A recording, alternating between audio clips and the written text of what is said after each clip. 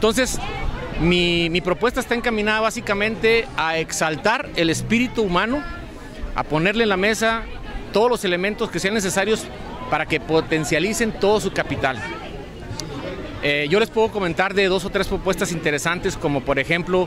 la creación de, del salón de un- unos salones de estudio, de los salones de maestros,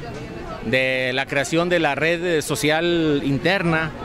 eh, de la digitalización de la biblioteca, pero sobre todo de la vinculación entre el sector empresarial y la universidad, en donde este sector